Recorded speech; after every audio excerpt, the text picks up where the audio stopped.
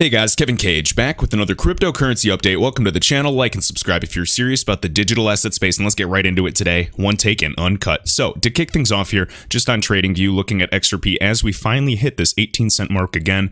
Um, doesn't take a genius just to tell once you can break a trend line um, that is you know, somewhat valid. You can kind of play support and resistance. The next guess would be to move towards that 20 cent mark once again and hopefully kind of, you know, trend sideways in this region. Now, a lot of people have talked about this. Mr. Level Up, for example, I talk with him regularly. Um, you know, he's been tracking this day in and day out, whether the fractal draws shorter or longer, and he's been calling this for a long time. I know, you know, Blockchain Backer's been calling this for a long time as well. Love his videos as well. And then even uh, Trading Wizard or Tori. Now, they can, you know, read the charts, and this has obviously been a long time coming, overdue. I know people are talking about, you know, possible fib retracements on the lower level. Um, but simply, guys, what I want to emphasize is pricing does not matter at all right now. You know, I made a tweet the other day just emphasizing, you know, when XRP goes down 10% or it trends sideways for a while, people call it scam, banker's coin, Ripple selling, all, all of the typical FUD that you've been hearing for years. And then when XRP goes up 5%, everybody's suddenly so confident in their investment. It's just human psychology, guys. So realize current price means nothing. All right. All I'm waiting for, and it's not a price prediction, you know my beliefs, I've shared them. Whether it's double, triple, or even, you know, $1,000 per XRP, like even you know, Cryptopolis, Susie Esoteric, a lot of people in financial markets have said if we, you know, get the correct dominant market share, anything's possible. All I'm saying is XRP price will move when it is solving a real problem at scale. So when it is sending large value payments and becomes more liquid, it's game time. When will that be? I'm not going to pretend to know an exact date. I believe 2020 is a great, great year. Now is the best time as any. Um, I'll be looking forward to the next few months as well. Things are getting absolutely wild, as we can tell. All right, so let's get into the news briefly. So right here, Real XRP Boy just sharing this. So again, Joel Katz, aka this is David Schwartz, CTO of Ripple, and his answer, and I do like this. So, just like no one wants to hold the fiat currencies in these Nostro accounts today, but they do. Again, because the typical excuse is no banks, nobody's going to have a custody solution and want to hold XRP. And that's actually silly to even think because rather than holding a basket of 13 different currencies, you can reduce the amount of, you know, fiat or value you're holding and hold XRP. And that can act for any currency that you need on demand. So I'm just going to kind of read this. He used to be really interactive with Reddit, XRP chat, things of that nature. And yes, David is an absolute genius. You know, working on distributed um, systems networks, I guess, uh, back in the day in you know 1988 with NSA, has a long, long history and portfolio. He can entertain so many different ideas, and I think he's crazy, but in a great way. So I'm just going to read this briefly and get over additional news. So right here, you know what? It's kind of hard to read. All right. Guess I'm better off here. So right here, American Bank, a, oh, I'm just going to uh, read the highlighted because I feel like I've shared this a lot. You know, XRP is a vehicle currency, is not an investment. It's a replacement for fiat currencies used for that purpose, which aren't really investments either. It's because they're stuck there, they have to hold it there. So again, no one will want to hold XRP, just like nobody wants to hold fiat currencies in these Nostro pre-funded accounts around the globe today, anywhere from 5 trillion to 27 trillion dollars, and they just sit idle. Capital costs, inflation, so many inefficiencies in the system, but they still do hold the fiat currencies often at costs costs, excuse me, of 5% a year or so because it allows them to make quick payments. And the assets they hold typically only make them, you know, quick cheap payments in one corridor. That is absolutely insane, and exactly my point that I was making. With rather than holding a basket of 13 currencies, um, and you know some of them, you know euro and USD are highly liquid. You don't really need the pre-fund as much, but for the currencies that are hard to reach, for example, you know Thai baht, a lot of currencies in Southeastern Asia or through Latin America, absolutely there might not be a connection between the let's see, uh, the Argentine peso and the rupiah or the rupee, things of that nature. Okay, they want to go to and from with a simple bridge asset instead of going through multiple steps. Next up, so this was sent to me over by Vincero Speedwell. Thanks for sending this. And again, this is on the treasury.gov site and just latest news. So this was on March 18th, actually, but this was a statement from Secretary Stephen T. Mnuchin on the establishment of the Money Market Mutual Fund Liquidity Facility. Now, this is a lot bigger than a lot of people realize. Essentially, you know, there's a bunch of conspiracies that go hand in hand with this, guys. You know me, I'm simply just sharing the thoughts and ideas around. Um, I'll believe it until I see it. I know there's been, you know, talk basically saying that Mnuchin here has bankrupted the Federal Reserve entirely. You know, with that, you know, Goldman Sachs, JP Morgan, Chase. I'm sure you guys saw those silly, you know, anonymous websites as well. And, you know, just saying that the market liquidity overall is now controlled by Steve Mnuchin and the entire Treasury Department. I don't know if you guys watch, uh, how do you pronounce his name? Bix Weir on Road to Roota or, you know, other people as well. I think it's well known that Mnuchin can definitely have his hands dabbled or at least oversees and controls and manipulates the market to some degree. If you think that's crazy, um, I would just implore you to do additional research as well. But uh, basically, one way to look at this is that the Treasury Department right now you know, is kind of dominant. Um, I know there's other conspiracies as well with Bitcoin Ben saying that Ripple somehow consults or will play a role in, you know, the treasury in the future. Who knows? I don't really care, guys. I'm here to make money via XRP.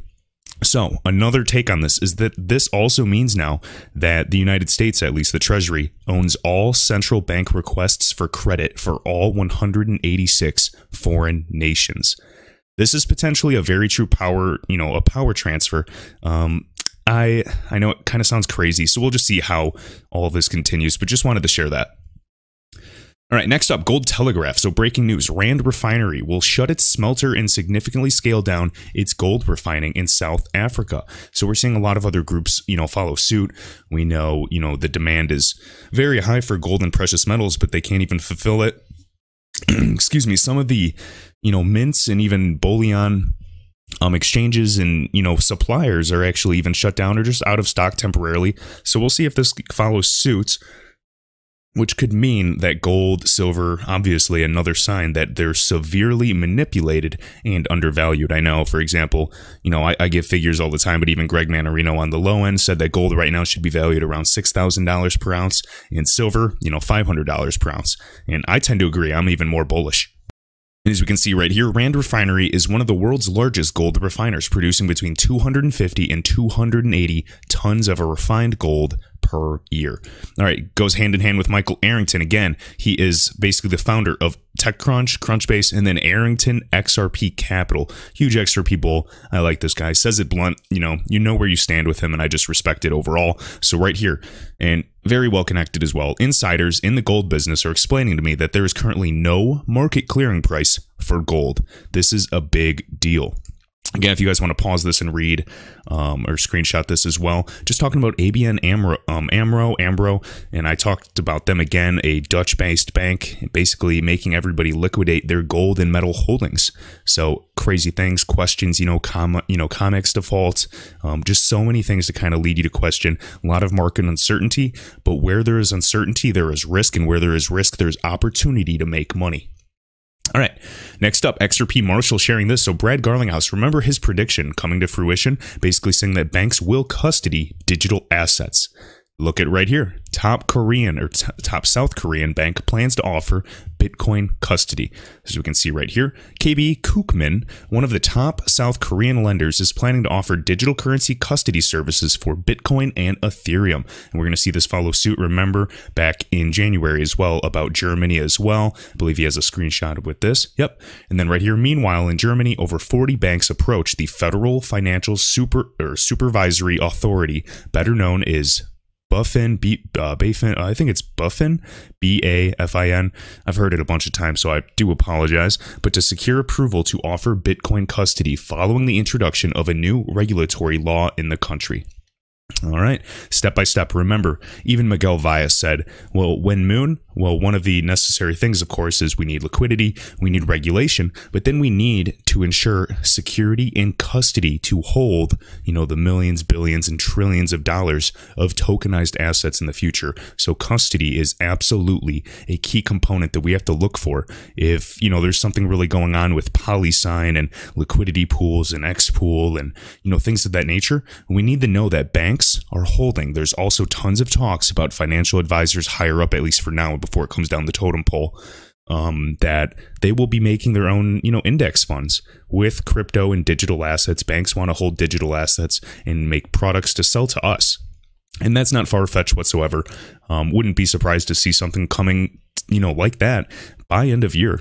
Um, especially in such times of uncertainty, people are going to be looking for other asset classes to invest in.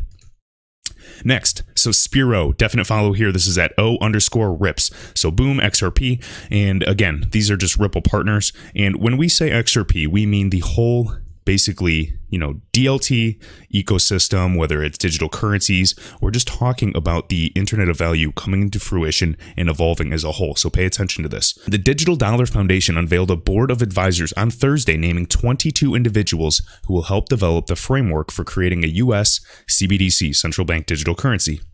Now, this is a joint venture between Accenture, which is a Ripple partner. They help with the digital transformation, as I always say, of you know groups like R3, Ripple, Swift, etc., and the Digital Dollar Foundation. And as we look here on Coindesk.com, so again, Chris Giancarlo's Digital Dollar Project names ex Treasury CFTC officials to new board. And this was just coming out today, March 26th, 2020. So as we said, they are in partnership with Accenture, has tapped a number of formal government officials and industry experts to boost its advocacy efforts. All right. So as we can see here, guys, I mean, naming 24 individuals who will help develop this framework overall. Um, we can see, you know, who's kind of in cahoots with all of this and working on building this. And this does not just scream XRP, but what I'm saying is this validates it, whether it's fiat or central bank digital currencies. As we know, they still need a bridge asset. So we are happy to encourage the you know adoption of any type of digital money and the coolest thing about this is yes okay we know it's going to be centralized obviously just like any central bank digital currency most likely would be but what is cool is that instead of just electronic money today, they will actually have digital wallets. And I really want to better understand um, you know which proposals will go through 100% and how the future payments will work. But i've you know spent hours recently just watching all of the panels and discussions of the imf the bis the world bank discussing central bank digital currencies stable coins you know backed assets talking about these concepts. And everyone thinks it's kind of crazy or you know people are great at doing price prediction or not price predictions but future predictions. But when you really look at the current ecosystem it's not too crazy. Like two years ago, if you really just did your own research, you could kind of make, you know, conservative estimations or projections on where we would be today. Now, granted, I thought that we were kind of going to use QE to delay this Black, Black Swan event. Um, but again, things are just so uncertain right now. I do not know what the financial landscape will look like in the future. All I can tell you is that it's going to be a lot more digital. In the 08 crisis, crude oil was at what, you know, all-time highs, and now we are back down. It's the exact opposite in that regard, but there's also parallels that we can draw. All right, so I'm going to show you this gentleman here, Chris Giancarlo, I believe. So check this out. So this is shared by Status again. So digital dollar is just another walled garden. Okay, it's centralized. It's a closed ecosystem, and it still needs a bridge asset to interoperate, or at least a protocol such as IOP to link the ledgers, the networks together. And again, as we know, IOP is agnostic, and XRP is a neutral bridge asset. So listen to this. What is a digital dollar? It is a form of tokenized, digitized fiat currency that enjoys the full faith and credit of the US government. And this gentleman is the former chairman of the CFTC. And I finally memorized, I always mix them up with, um, you know, uh, what is his name? Jay Clayton, Jerome Powell, uh, who else? There's there's so many other guys I know, but I always have to redouble check whether it's the SEC or you know the Fed or etc. Is well, the dollar is already digitized, right? You know, the dollar's already electronic. Mm-hmm. Yeah, okay, explain explain the difference. Yeah, so so I use the difference. What I mean by electronic is, yeah, we have a we, it's still an accounts based system. You know, most money is basically exists by recording on bank ledgers. And if the bank goes down or the other intermediary goes down, try getting your money, right? Well, of course, we have insurance for that, but it's not the same thing as getting your money. It's electronic.